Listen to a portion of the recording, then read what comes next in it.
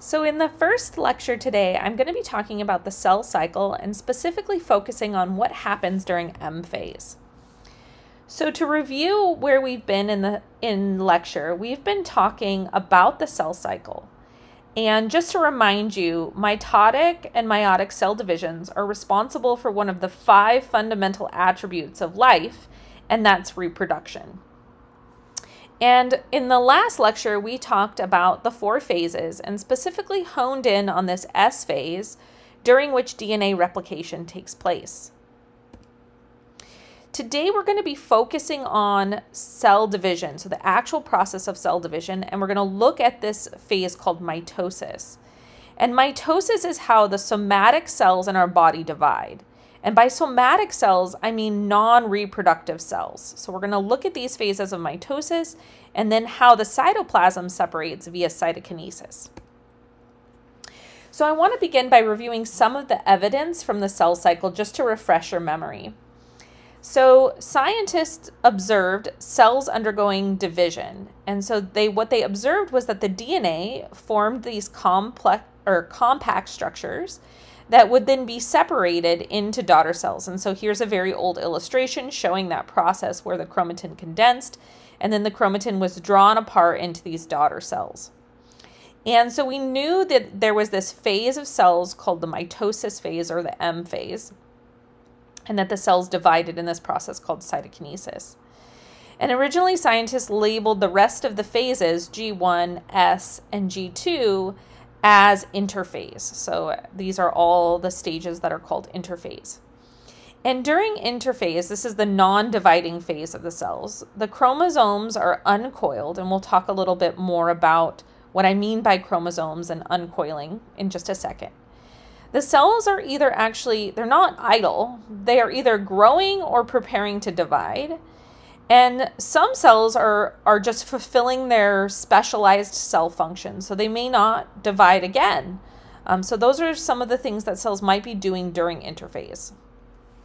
And so as I mentioned, interphase includes the S phase. During the S phase, the DNA is becoming replicated. And so let's take a look at this data here. So in this experiment, the DNA in the cell has been labeled with a fluorescent dye. And then the number of cells with a particular ratio of DNA has been quantified. And so you can see that some of the cells have one copy of DNA. And so these would be cells that had finished M phase or were in G1. And then you have cells that begin to duplicate their DNA. So you have some cells that are just beginning to start replication and those that have completed it. So this could be cells early in replication, and then here they've completed their replication and are in G2. So that's what's happening in S phase is we have DNA synthesis. In the first gap phase, and we're going to talk more about this phase in the next video, what cells are doing is that they're growing and they're deciding if they're going to begin replication. And so there's a lot of cues that are important for a cell to interrogate to decide if it's ready to replicate. And then in the second gap phase, once the DNA has been replicated, the cell is checking to make sure that that DNA is undamaged and the cell is preparing for M phase. We're going to talk more about these gaps in the next video. So I want to define some of the terms that we're going to be using to describe the DNA through the process of mitosis. So in G1, we have an unreplicated chromosome. And this unreplicated chromosome is shown here as this blue squiggly line. And in chromosomes, we have genes. And genes refers to a section of DNA that encodes for a specific RNA, and that RNA encodes for a protein. So genes are protein encoding sequences of DNA. And this DNA is wrapped around proteins, and these proteins are called histones. And when we refer to DNA wrapped around proteins, we call that chromatin, okay? So here's a single chromosome. It's actually, even though it's shown as one little line here, it's in fact a double helix. And if it's wrapped around proteins, we call that chromatin. And then the sequences that encode for a protein, we call a gene. So I'm going to show these cartoon models, um, especially during lecture, um, to model what's happening with the DNA during um, during mitosis. So I want to kind of introduce you to those models here. So I'm showing this um, chromosome as a single straight line. But in fact, this is a double helix and it would be wrapped around proteins. And then I'm using this little star here to represent a gene. In S phase, as we talked about, that double helix is copied. Okay, so we have um, gene 1 and a copy of gene 1. And this is, if you zoom in here, this is a double helix. Each strand is a different, or each one is a, a double helix. This is a single replicated chromosome. Okay, so I'll try not to refer to this plurally, but this is just one, still one chromosome. We just have twice the amount of DNA. And what I didn't talk about during the last lecture is that this replicated chromosome is held together by these proteins called cohesins. And these are ring like proteins that wrap around the replicated chromosome and they hold these two different um, replicated chromosomes together. During the process of mitosis, some things happen to the DNA. So the first thing is that the DNA becomes highly condensed around its associated proteins. And this causes this whole long linear chromosome, which is very relaxed here, to be condensed. And it's actually going to shrink about 10,000 times its original length. And we can view this under a microscope. The second thing that happens is that the cohesins that were holding this chromosome together break down until a single cohesin is left at the center point of this chromosome. And the center point of the chromosome we refer to as the centromere. Okay, so the chromosome has condensed and it's held together by a single cohesin at the centromere. And so this is kind of shown more realistically in this diagram here. So we refer to each arm here, that's a single um, double helix, we refer to it as a chromatid. And the in a single chromosome, these chromatids are identical, so we call them sister chromatids. And at this stage, a, a chromosome is a pair of identical sister chromatids. Okay, so again, we have a sister chromatid that is joined at the centromere region. So this is this is important when we start to talk about what happens to the DNA during mitosis. And to mention again, this is still a single chromosome. So in mitosis, we're going to produce daughter cells that are genetically identical to the parent and identically are genetically identical identical to each other. So here's a parental cell in G1 and then in S, we've now duplicated the chromosomes. And so we have a pair of sister chromatids, right? And these are now joined in this linear form by a bunch of cohesins. In mitosis, what happens is that these chromosomes condense. And so now we can visually see the pair of sister chromatids. So here's one chromatid and here's another one. And in this um, diagram here, I'm showing a cell with four chromosomes. And so when we when you, in class we're going to practice um, dividing a cell by mitosis, and we're going to just imagine that the cell we're working with has four chromosomes. And then during the process of mitosis, we're going to divide each sister chromatid into a daughter cell. And so that daughter cell is going to have genetically identical DNA to that original parent cell in G1. Okay, so, but the number of chromosomes will never change. So we have four chromosomes, four, four, and four. We're going to talk after the exam about the process of meiosis. And this is the process that produces reproductive cells that we call gametes. Our other non reproductive cells we call somatic cells. And the daughter cells in meiosis are genetically different from each other and contain half the hereditary material. So they contain two of of those chromosomes, um, which we will talk about more, but just to introduce that concept now.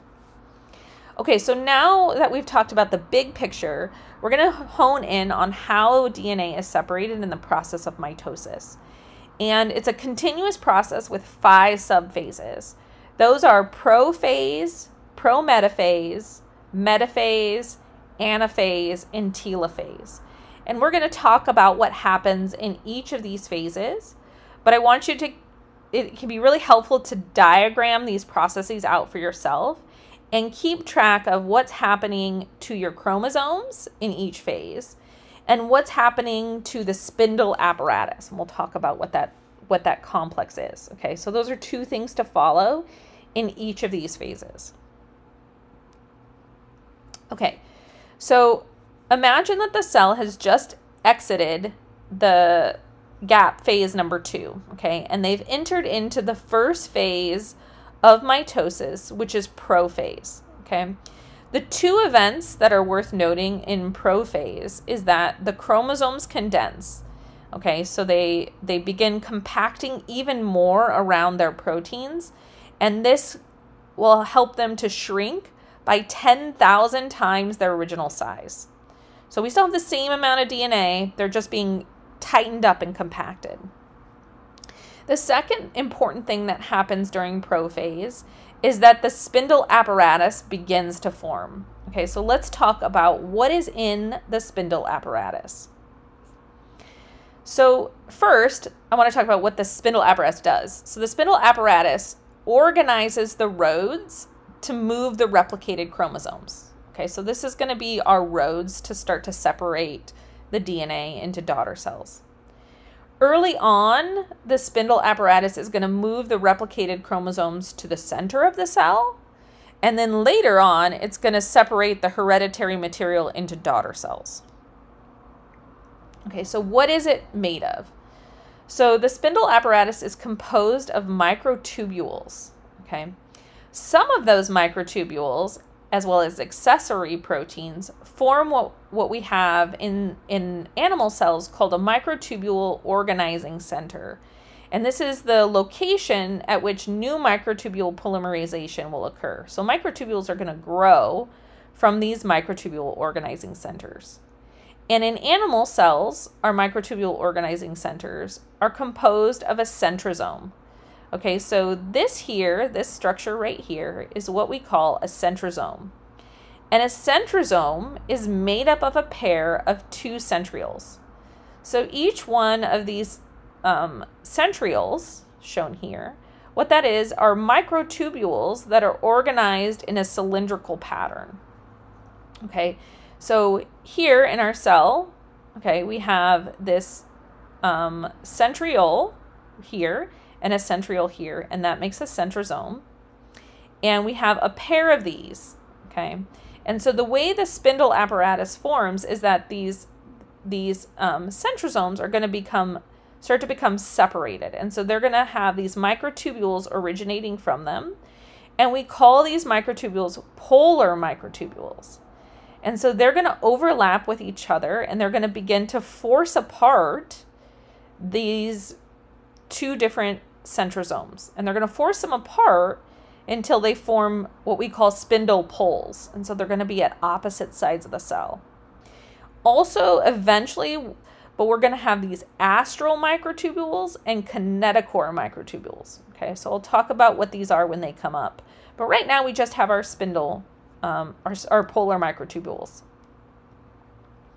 Okay, so just to recap, we have the we have the chromosomes condensing and we have the beginning of our spindle apparatus.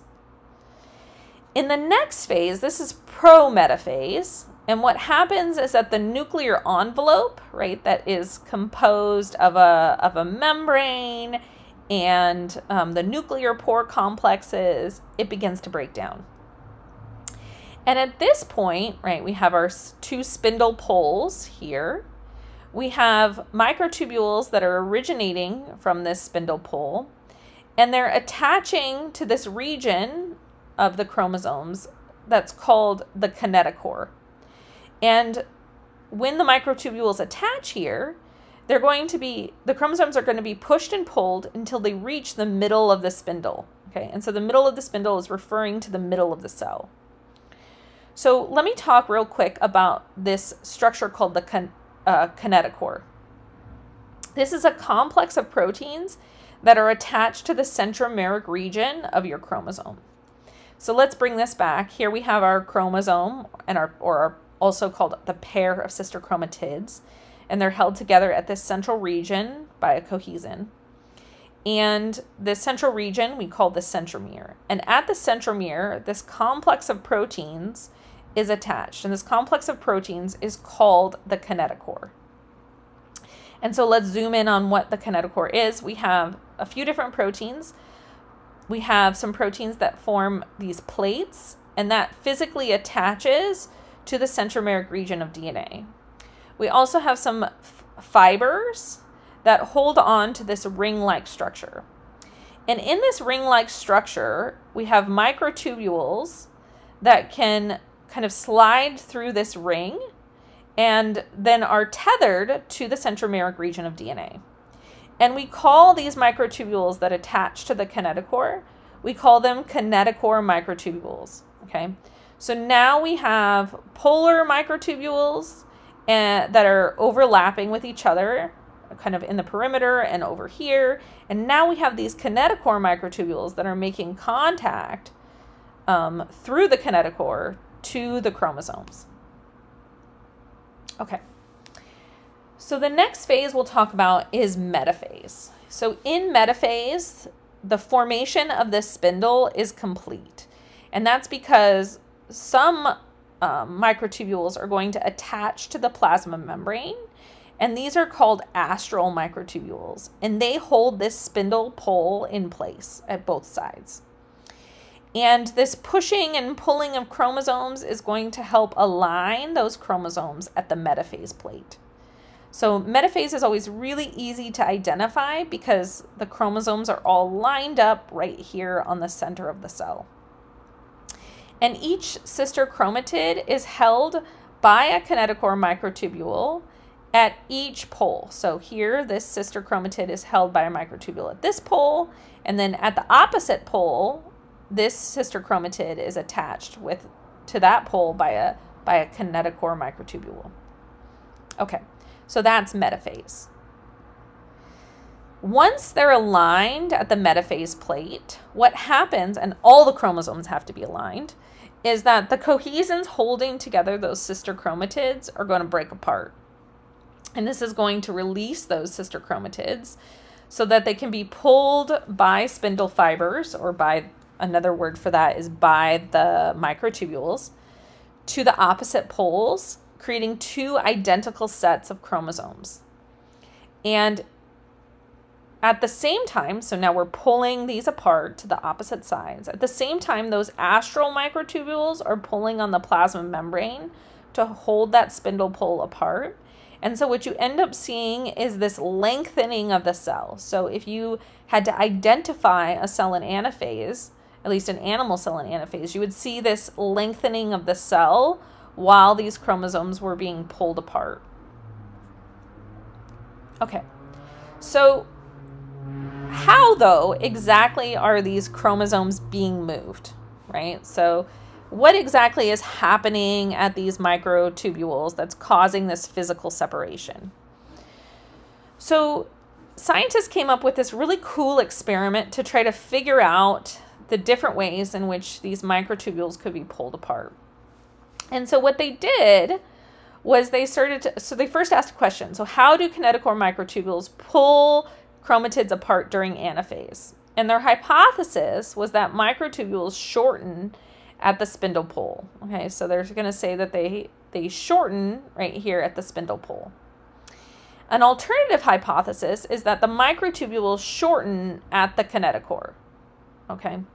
So we're going to talk about what they did to test this. And what they did was that they they labeled with a fluorescent tag the microtubules as well as the DNA and they were different colors. And then they marked an area of the microtubules um, and and so that those microtubules were marked And they did this with a laser. So they shined a laser on this spot of the microtubules until it bleached the the tag. And so that's was basically laser bleaching. Okay. Now, if, as their hypothesis says, the microtubules shorten at the spindle pole, this can be thought of as pulling of a rope. Okay. So here's a person pulling on a rope, and there's our chromosome. And they have this marked area. And if we were shortening at the spindle pole at this region here, so this is the spindle pole, we were we're going to expect this mark to move as that pole moves. Okay, so that's one expectation, and that would support the hypothesis, the original hypothesis, that the microtubules shorten at the spindle pole. Another way of thinking about it is the fraying of the rope. So this would this is the model where the microtubules shorten at the kinetochore. So in this model, we have our mark here, and if the, chromo- the chromosomes will shorten because of fraying, so that's the fraying end of that rope, but the mark shouldn't move if it's shortening at the region of the kinetochore. Okay, so those are the two possible outcomes for this experiment. So what they found was that when the when the chromosomes begin to be pulled apart to the to the um, different poles. Their mark did not move. Okay, their mark did not move. The mark was stationary. So this suggested that the kinetochores or that the microtubules were actually shortening or fraying at the kinetochores. So this is now the model for how chromosomes are separated during anaphase, which is that these plus end of microtubules here that are held in place by the kinetochore begin fraying, and this is a process called catastrophe. And so they begin really quickly fraying, and so the tubulin subunits are released. And this fray basically then creates a, a force to move this ring backwards. And so that ring is going to be moved backwards, and this is going to continue fraying until the daughter cells each have a copy of chromosomes, of, of uh, identical chromosomes.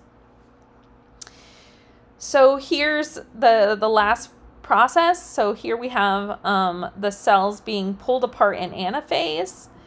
Um, the next step is telophase, and in telophase, the nuclear envelope reforms and the chromosom, chromosomes decondense. And this is, telophase is considered the end of mitosis when these two nuclei form. So we have two nuclei. And then cytokinesis actually is considered to occur immediately after mitosis. Okay, and this is in which the cytoplasm is divided. Okay, and we're going to talk about cytokinesis in animal in plant cells and animal cells because it occurs in slightly a different a different way. So in plant cells, microtubules um, send vesicles from the Golgi, and those vesicles contain membrane. And the vesicles fuse to basically form a new membrane that we call the cell plate. Okay, so this process in plants is dependent on microtubules delivering membrane to this central region called the cell plate. In animal cells, there's this ring of actin that's contracted by myosin. And so when the actin begins contracting, or when the myosin begins contracting the actin, we see this formation of a cleavage furrow. And this cleavage furrow pinches inward, so basically contracting, kind of like if you were to pull um, the uh, elastic or the string on your sweatshirt, right? That the hole would kind of wrap around your face. And this is going to tighten until division is complete between those two cells. So to summarize what I've told you in this video, cell division is a fundamental aspect of cells that involves copying the DNA, separating the DNA, and dividing the cytoplasm into two distinct daughter cells. The gap phases help prepare the cells for the next phase. In S phase, the DNA is copied. And in M phase, we separate the DNA and cytokinesis divides the cytoplasm. M phase is separated into five subphases and after practicing in class, you should be able to both illustrate and identify these stages. Again, paying attention to that spindle apparatus and the location of the chromosomes. So that's it for this video, and on to the next one.